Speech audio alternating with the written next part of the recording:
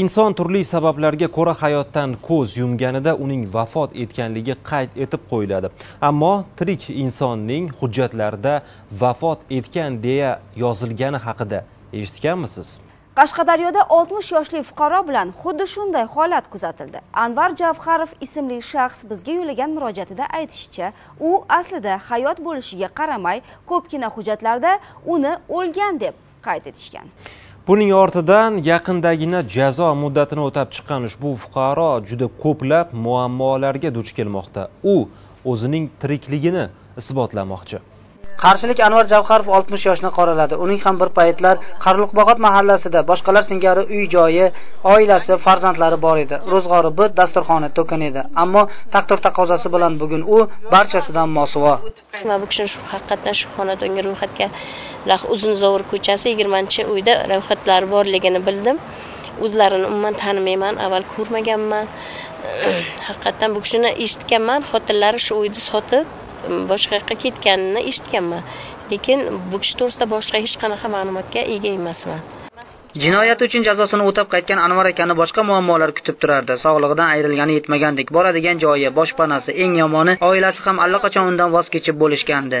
Qamoqdan chiqib kelib bilsam besh yil muddat ichiga xotinim ajralgan mandan xotinim leningradga man qamoqqa bu ajralgan. Qanday mana unga ajralgan bilmayman shundan so'ng kasal bo'lib qiynalib bunday ahvolga yurdim anvar javharov uy joyi bilan bog'liq muammoni yechishga urinarkan aniqlagan hujjatlari ortidan kutilmagan yangilikka duch keladi.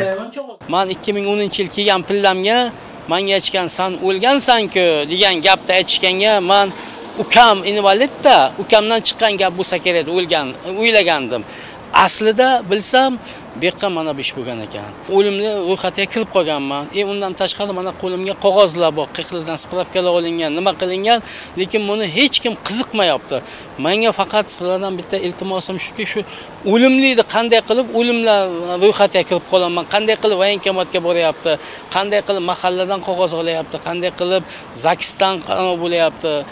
Shunga tushunolmay ahvolga qoldimda garang bo'lib. Nima qilishimni bilmayman. Shundan so'ng u bu borada tegishli tashkilotlarga bir necha bor murojaat qiladi haqiqatni yuzaga chiqarishga urinadi. Ammo bundan hech bir naf chiqmaydi. Sababi nima ekan man tirikman mana aka men o'zimga o'zim ishonmayapman. Что tirikligimga hamda qanday ishonay? Hech qayerga bo'lsam san o'lgansan san yo'qsan. Sudga bo'lgan qaror jog'ozgin qanday qilib boray sudga? Nimada boray? Nimani ko'tarib boray? Bironta joyga bo'lsam hech kim tinglamayapti. Bugun anvar aka qarshi shahrining shodlik mahallasida joylashgan yotoqxonada yashab kelmoqda. Aslidagi yotoqxonaning faqatgina nomi qolgan xolos texnik xavfsizlik masalalarini gapirmasa ham bo'ladi. Sanitariya talablariga umuman javob bermaydigan yuvinish xonalari mana bu ahvolda. Har xil hasharotlardan aziyat chekayotgan ayollarning fig'oni palakda. shu yerda ham bolalar yashayapti qariyalar yashayapti. Qahramonimizning ta'kidlashicha qishning sovuq kunlarida beton ustida yotaverganidan silga ham chalinibdi. Hech kim qaramaydi quloq solmaydi. O'zim nogiron ikkinchi guruh invalidi bo'lib qoldim. Sabab mana shu beton ustida yotib to'rt yildan chaqan shu kuxnyada yashayman. Yana mana shu kvartira polli uylar to'lovdi. Mani ham bo'ynimga xuddi shunday solishyapti.